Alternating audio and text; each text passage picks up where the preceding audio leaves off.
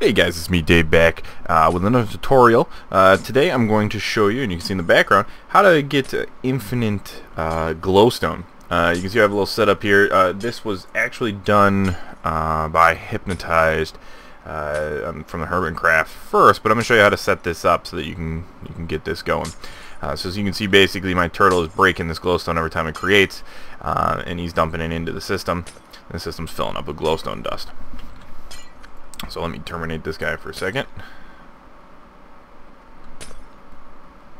Okay.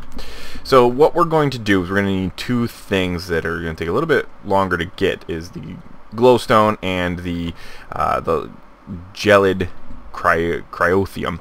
Uh, what this is going to do is when it touches the glowstone, uh, liquid glowstone, it makes a glowstone block, and then the turtle is just breaking it. So I'm going to show you how to set that up real quick. It's turning night already. There we go. It's weird dark.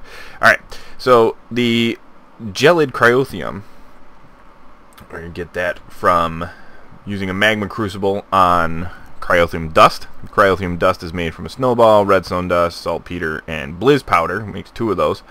And the blizz powder is gotten from, uh, is obtained from blizz rods, which come from, uh, they're like, uh, they look like the uh, blaze blazes, but they're they're cold. You just have to find those out in the wild. Uh, but using that sh shapeless crafting, you two of those, if you pulverize them, you get you get four. This is the best situation right here. Is use the the pulverizer because you get four blizz powder plus a snowball, uh, which you're gonna need in the crafting of cryotheum. Anyway, the other thing you need is the energized glowstone. and that is right here. You can see it's an empty bucket, or upside down bucket. Um, and let's see what we get that. Use a magma crucible on glowstone or glowstone dust and you get the energized glowstone.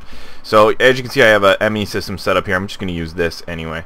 Um, but what I did was the when you place down the energized glowstone it flows up. Alright? So let me just break that so that goes away. What you're going to do is you're going to set this up so that it you don't want the source block to ever get hit by this or it'll go away. Um, you're going to set this up so that uh, put one block there and have it flow right here there's a, there's a block so that it flows out and goes up. Uh, the cryotheum will flow one, two, three, four blocks before it stops.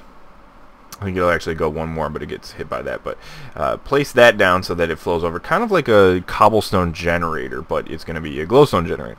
So this this guy, and you can see right here. I'll, oops, I'll block that off, and I'll place a new one once it goes away. Boop. So that goes away, and then that starts to flow over here. If I break that, you'll see when it touches it.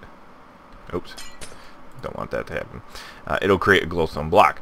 Now, what I'm using is I tried the um, transition plane from ME to do this, but it it grabs the, uh, the actual liquid glowstone before it becomes a block more times than not, so it's not really viable solution. So what I'm using is uh, just a mining turtle. Any type of mining turtle will work. I just grab the advanced one. doesn't matter. And this is the program I'm using. So while true do, the turtle will detect if there's something in front of it, then it will dig, and then it'll drop down what it dug, what it, what it dug. Otherwise, give it a 0.5 seconds sleep time, and then end. And this will just continually go over and over and over. Um, so we'll run that, and you can see right there, it grabs glowstone, and then immediately drops it into this uh, this chest below. This chest below is then being imported from a precision import bus into our system and you can see that this is just filling up with glowstone dust. Um, I did run into issues in survival where sometimes this this uh, source block would go away. Uh, if it was too close to here, it would freeze and become a solid block. So the further away you keep that, the better. Um, but it's not like it's hard to obtain so you can grab that pretty easily and just put down a new block when you need it. See how it flows up.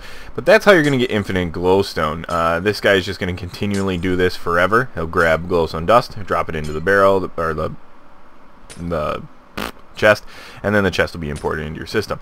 You can just let this sit here. You can set up multiple of these, but uh, this guy alone, I mean, I've, I've only been doing this for a little while, and I've got a ton of glowstone dust already. Very simple, very easy way to get glowstone and glowstone dust. Um, these are not difficult to obtain. The Finding the blizzes is a little bit more difficult than uh, it should be, but if you do Mystcraft Worlds, you can find those pretty easily, and then you can start uh, uh, auto-spawning them to get the, the Blizz Rods that you need. So, uh, just wanted to give you a quick tutorial. Hopefully this was helpful. Uh, show you how to get... Oh, you can see the guy way up in the air there. Infinite Glowstone Dust. Uh, fairly easy and relatively mid-game, not really an end-game thing. It's pretty easy to do this early on. So uh, if this was helpful, leave a comment in the comment section, give me a thumbs up, and check out my channel for more tutorials as well as some LPs. And like always, good luck and have fun.